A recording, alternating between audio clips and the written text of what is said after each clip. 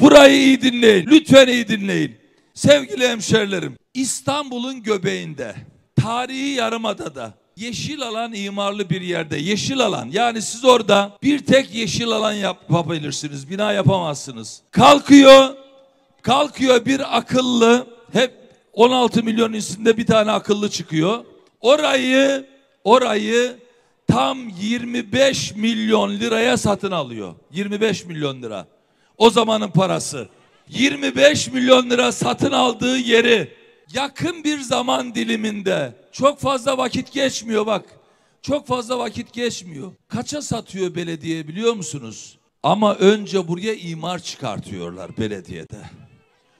450 milyon liraya 450 milyon lira bakın 117 milyon dolar 10 milyon dolar adamın verdiği para 107 milyon dolar gidiyor bildiğimiz yerlere ya da bilmediğimizi düşündükleri yerlere 107 milyon dolar ne kadar biliyor musunuz bunun anlamı en az 2 katrilyon liradan daha fazla. Döviz kurunu takip edemiyoruz artık farkındaysanız. Hesabını da yapamıyorum. 4 günde 5 günde imarı çıkarılıp satılan bu yerden milletin parasıyla birileri zengin ediliyor. Daha ileri gidiyorum. Daha ileri gidiyorum. Burayla ilgili soruşturma yapıyoruz. Burayla ilgili dosyayı hazırlıyoruz. Soruşturmayı başlatıyoruz. Ülkenin İçişleri Bakanı bu dosyayı alıyor. Diyor ki sen bu dosyayı soruşturamazsın. Ben diyor bunu bakanlıkta soruşturacağım. Üç senedir soruşturacak. Üç senedir. Şimdi bunu söyleyen akıl bana milliyetçilikten bahsedecek öyle mi? Bana milliyetçilikten bahsedecek öyle mi? Senin benim evladımın kuruşlarıyla, liralarıyla kendi bakın kendi cenahında gelir elde eden insanların sorgulanmasını engelleyecek ve sözüm ona milli olacak. Millete de gayrimilli diyecek. Hadi oradan. Hadi oradan. Hadi oradan. Sevgili hemşerilerim, bu aklı bu aklı göndereceğiz. Bakın o terbiyeli, o liyakatli yönetim aklı nasıl ki İstanbul'a, Ankara'ya ve diğer şehirlere yayıldı. 14 Mayıs'tan sonra o aklı Yalova'da görecek. Yalova'da. Yalova'da görecek. Yalova'yı geliştireceğiz. Az önce söylediğim gibi turizm potansiyeli, sağlık turizmi potansiyeli, yılın 12 ayı hareketli bir Yalova. İstanbul'un geçiş yaptığı bir Yalova değil. İstanbul'un birbirini etkilediği bir Yalova üreteceğiz. Dünyanın dört bir yanından insanlar buraya gelecek. Ve bunu ancak biz yapabiliriz. Biz çözeriz. Yalova'nın işsizlik sorununu da biz çözeceğiz. Her üç gençten birinin işsiz olduğu Yalova'yı biz istemiyoruz. Yalova'nın işsizlik sorununu da biz göreceğiz. Es çözeceğiz. Esnafın, çiftçinin, orman içi köylerde yaşayanların, buradaki sanayicilerin sorunlarını biz çözeriz. Yalovalı kadınların, gençlerin, çocukların, emeklilerin sorunlarını da biz çözeceğiz. Ancak biz çözeriz. Çünkü biz kimseyi zenginleştirmek için değil. Biz 86 milyona hizmet etmek için geliyoruz. 86 milyon Yalova'nın ihmal edilmiş bütün sorunlarını biliyoruz. Ulaşımla ilgili sorunlarını biliyoruz.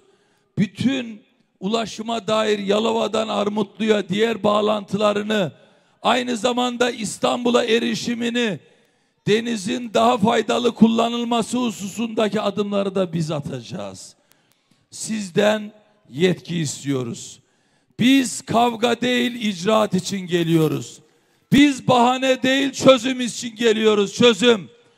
Biz seçimi seçimi iptal edilmiş siyasi bir dava bahane edilerek bizimle uğraşan insanların görevinden uzaklaştırmak için elinden geleni yapan bu insanların bu ülkeyi bu yöneten aklın nerelere sürükleyeceğini çok iyi biliyorum. Çünkü ben onlarla tam dört buçuk yıldır mücadele ediyorum. Dört buçuk yıldır. Demokrasiye inanan bütün Yalavalılara sesleniyorum. Bakın ben burada Vefa Salman'ı da selamlıyorum. Ona sevgilerimi iletiyorum, selamlarımı iletiyorum. Ona yapılan haksızlıkları da bertaraf edecek düzenin hak, hukuk ve adalet düzenine dönüşeceği bir süreci Yalova'da hakim kılacağız. 14 Mayıs'ta milletin vicdanı galip gelecek. Adalet yerini bulacak. Yalova gerçek anlamda huzura erişecek. Yalova deyince bir ziyaretimde tanıştığım İstanbul'un efsane belediye başkanı Ahmet İsvan'ı da anmak isterim. Ahmet İsvan tam anlamıyla halkçı bir belediye başkanıdır. İhtiyaç olduğu için İstanbul'da halk ekmeği kuran önemli bir insandır.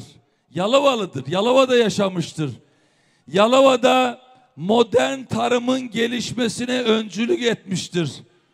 Yalova Taşköprü'de eşiyle birlikte işlettiği çiftlikte yaptıklarıyla bölge çiftçilerine rehberlik yapmıştır.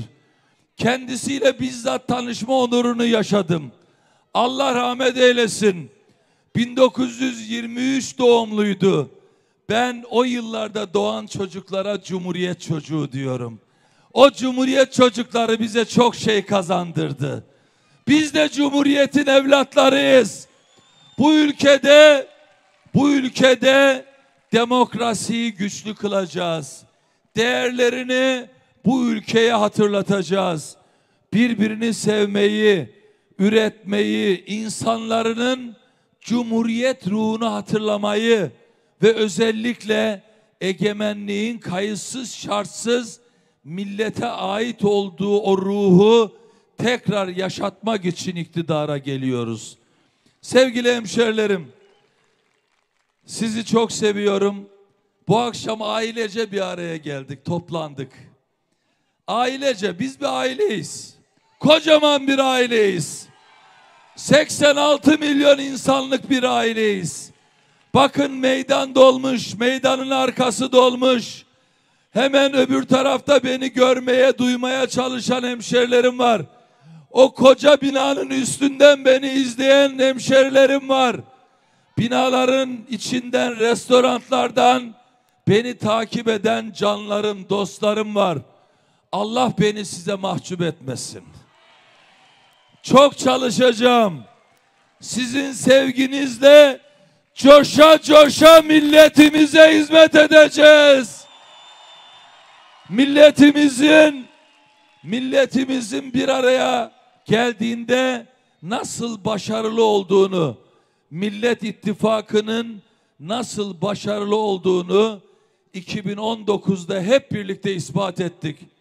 O dönem işte bu Millet İttifakı'nın tohumlarını atan Kemal Kılıçdaroğlu 13. Cumhurbaşkanımız 13. Cumhurbaşkanımız o önemli adımı attığında kol kola girerek ve ittifak ruhuyla bizi demokrasiyle bütünleştirerek o yolculukta nasıl kazandığımızı biliyorum. O yolculuğun yine önemli bir lideri İyi Parti Genel Başkanı Sayın Meral Akşener'dir. Ona da teşekkür ediyorum. Bütün liderlere teşekkür ediyorum. Hep birlikte başaracağız. Hep birlikte. Şimdi İstanbul'da İstanbul'da kazandığımız seçimin ve başarının aynısını bütün yurdumuzda gerçekleştirmek. Zaten son yıllarda bir tek sözü doğru söylediler. Bir tek sözü hatırlayın. Ne dediler?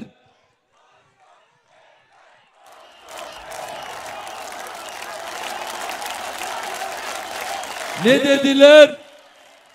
İstanbul'u kazanan Türkiye'yi kazanır dediler. İstanbul'u kaybeden Türkiye'yi kaybeder dediler. Evet, zamanı geldi. Neyim biliyor musunuz? Beni o uzaktan izleyen hemşerilerim. bir avuç insanın kaybetme zamanı geldi. 86 milyonun kazanma zamanı geldi. Ve hep birlikte kazanacağız. Hep birlikte kazanacağız. Sözleşeceğiz. Yalova sözleşeceğiz. Hep birlikte sözleşeceğiz. Sandıklara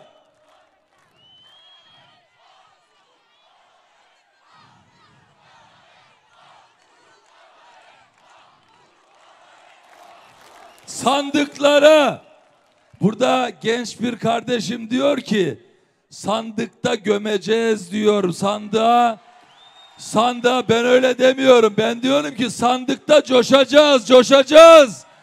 Millet coşacak.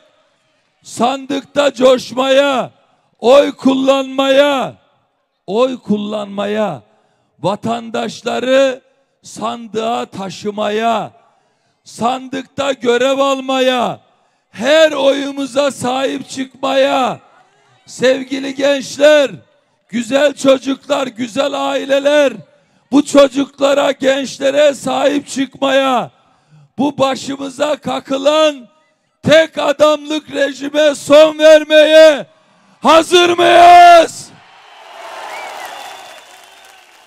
Benim sevgili hemşerilerim, benim sevgili hemşerilerim o gün o güne kadar o günün başarılı olması için o güne kadar komşularınızla konuşmaya, eşinizle, dostunuzla sohbet etmeye, onların derdini dinleyip anlamaya, ikna etmeye.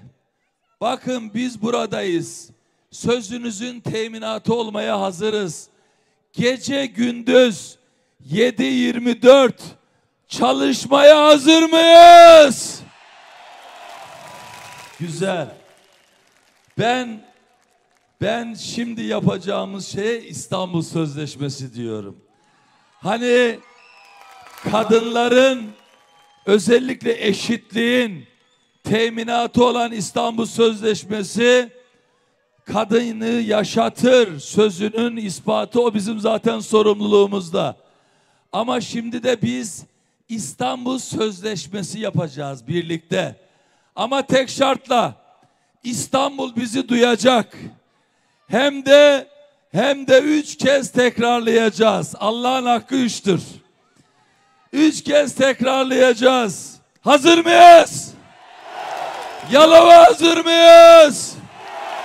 Arka taraf hazır mıyız? Her şey her şey her şey oldu oldu oldu. Hepinizi çok seviyorum. Kalın sağlıcakla